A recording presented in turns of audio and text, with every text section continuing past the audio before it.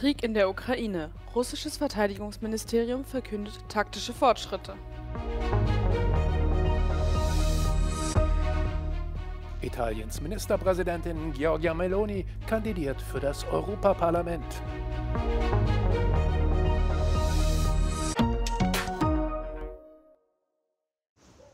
Russland hat die Schwarzmeerstadt Mykolaiv im Süden der Ukraine angegriffen. Die Drohnen haben das Fernwärmenetz der Stadt beschädigt und ein Hotel in Brand gesetzt. Es wurden keine Toten oder Verletzten gemeldet, so Vitali Kim, Gouverneur von Mykolaiv. In dem Hotel waren wohl englischsprachige Söldner untergebracht, die für Kiew gekämpft haben, wie die staatliche russische Agentur RIA berichtete. Nach russischen Angaben zielte der Angriff auf eine Werft, in der Seedrohnen zusammengebaut werden. Die Angaben konnten nicht unabhängig überprüft werden.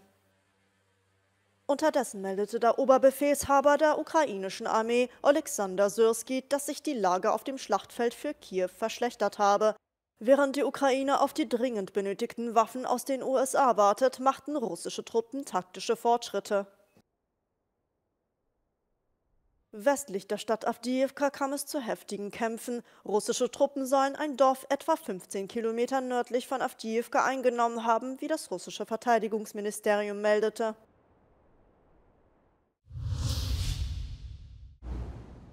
Kiew hat dem Europarat offiziell mitgeteilt, dass die Ukraine ihre Verpflichtungen aus der Europäischen Menschenrechtscharta teilweise aussetzt.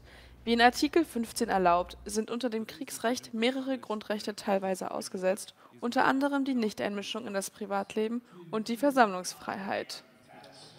Das Kriegsrecht war in der Ukraine am Tag der russischen Invasion vor mehr als zwei Jahren in Kraft getreten. Viele der neuen Einschränkungen stehen im Zusammenhang mit dem kürzlich verabschiedeten umstrittenen Wehrpflichtgesetz. Unter anderem werden die Rechte der Männer im wehrfähigen Alter eingeschränkt.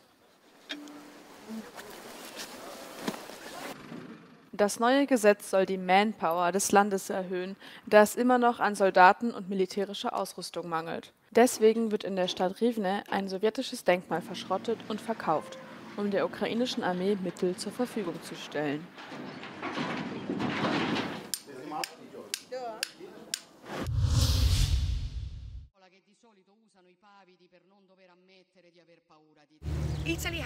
Italien hat sich auf der internationalen Bühne zurückgemeldet, aber vor allem kann Italien Europa verändern.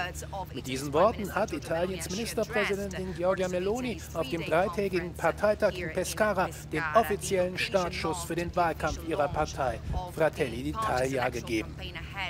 Während des Parteitags gab sie ihre Entscheidung bekannt, für das Europaparlament zu kandidieren.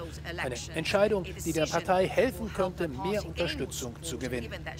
Angesichts der Tatsache, dass Meloni selbst Vorsitzende der EKR-Gruppe ist, ist dieser Schritt außerdem von großer Bedeutung.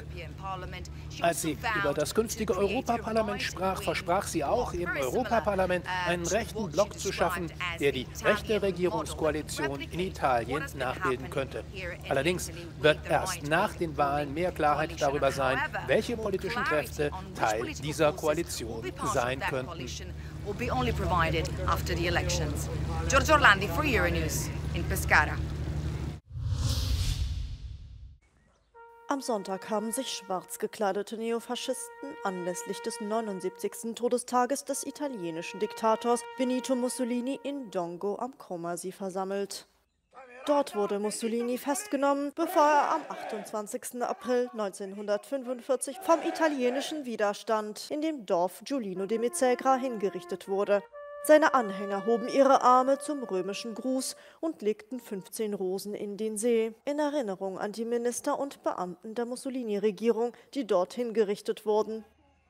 Am selben Tag kündigte die italienische Ministerpräsidentin Giorgia Meloni auf einer Konferenz ihrer rechten Partei Fratelli d'Italia an, dass sie bei den Europawahlen kandidieren werde. Fratelli d'Italia hat seine Wurzeln in der italienischen Sozialbewegung, die 1946 von einem Stabschef der letzten Mussolini-Regierung gegründet wurde.